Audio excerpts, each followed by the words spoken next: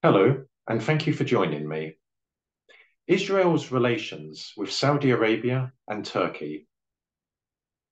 The war between Israel and Hamas, or more accurately, Israel's war against the Palestinian people, is rather inevitably attracting the attention of people who are not only ignorant about the history and politics of West Asia, but who are also devoid of even an ounce of knowledge concerning world history and international relations in general.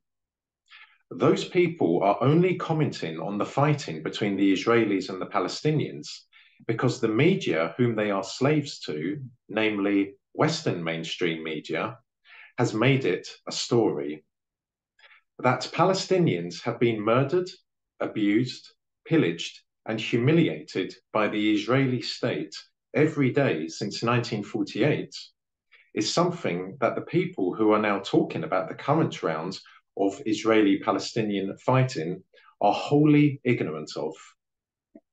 Suffice to say that citing the Balfour Declaration to the aforesaid people will bring about a gormless look on their faces, even though the Balfour Declaration is at the core of the problem in the Middle East.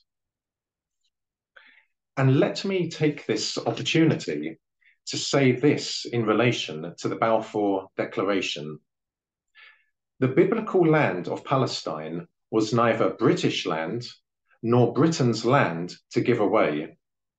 The biblical land of Palestine, which not only encompasses the West Bank and the Gaza Strip, but also all of the state of Israel, is the ancient homeland of Jews, Greeks, Armeni Armenians, Assyrians, and Arabs. Furthermore, it is lamentable that many Christians, especially evangelicals, confuse biblical Israel with Zionist Israel, when the two are patently not the same. Now, returning to the current fighting between the Israelis and the Palestinians, Western mainstream media, along with its gullible and idiotic audience, is presenting Israel, as it always does, as fighting against Islamist terrorism. How ironic, given that Islamist terrorism, such as Al Qaeda and ISIS, are controlled and deployed by the West in pursuit of geostrategic objectives of the Western ruling elites such as in Bosnia, Lib Libya, and Syria, and indeed Russia, specifically the North Caucasus, Chechnya, Ingushetia, and Dagestan. But staying with Israel, Israel fights neither Al Qaeda nor ISIS, and never has. In fact, numerous Israeli officials, including a former Mossad chief, have said publicly on numerous occasions that Israel does not regard either Al Qaeda or ISIS as an enemy. And let us not forget that neither Al Qaeda nor ISIS have ever designated Israel as an enemy of theirs. Furthermore, that the Israelis, during the war in Syria, treated wounded Al Qaeda fighters and then sent them back to continue their fight with the Syrian army is common knowledge to anyone who is au fait with the politics of the region. That actuality takes us rather appropriately onto Israel's relations with Saudi Arabia and Turkey. For decades, Israel has enjoyed an informal strategic partnership with Saudi Arabia the latter of which is the preeminent exporter of Islamist terrorism in the world. With Israel constituting the primary conduit for American influence and power in the Middle East, and with Saudi Arabia constituting the secondary conduit for American influence and power in the Middle East, Washington initiated the informal strategic partnership between Tel Aviv and Riyadh knowing that this would serve to cement American hegemony in the Middle East.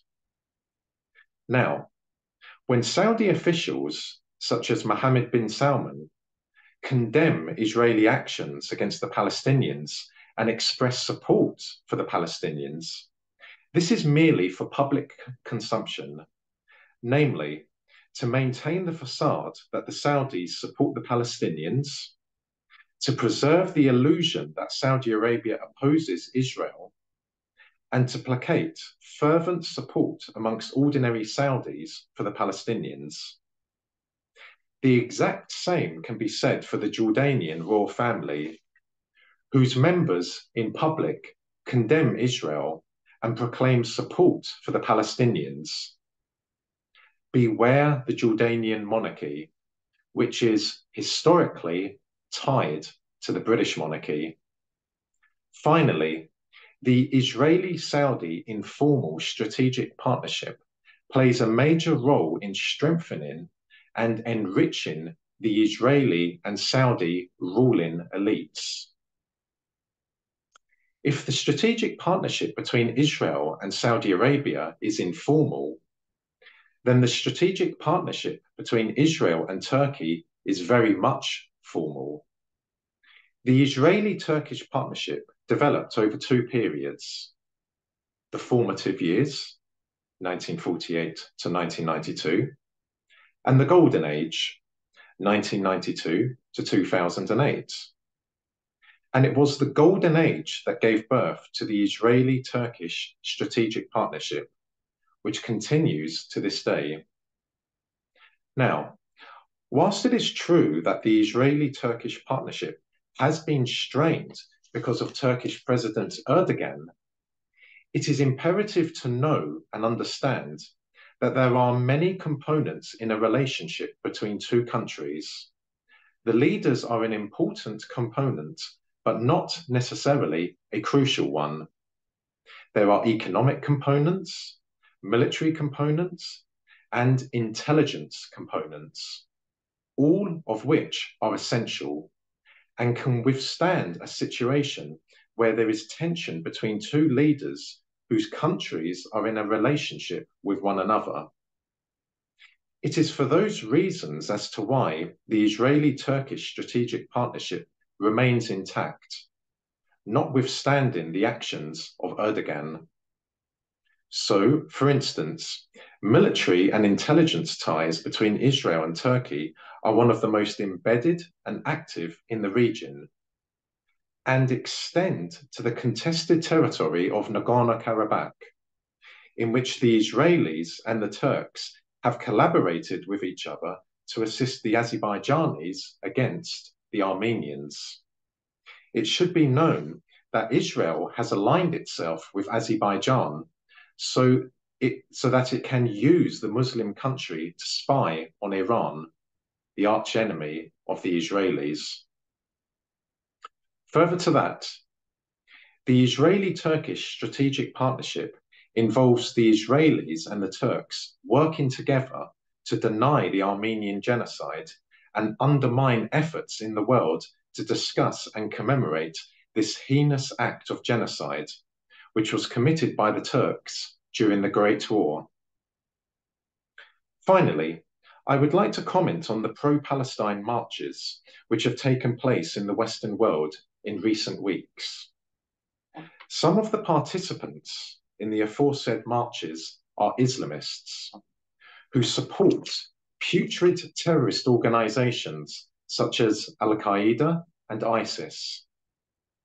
Those people are not bona fide supporters of the Palestinian people.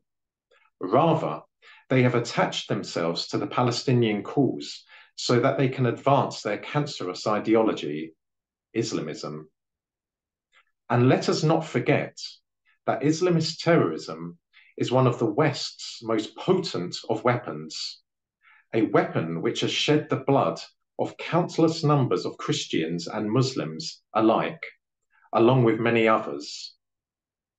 Thus, I urge people to make a distinction between the Palestinian people, some of whom are Christian, and Islamists, who are contaminating the cause of Palestine. Thank you very much, as always, for listening.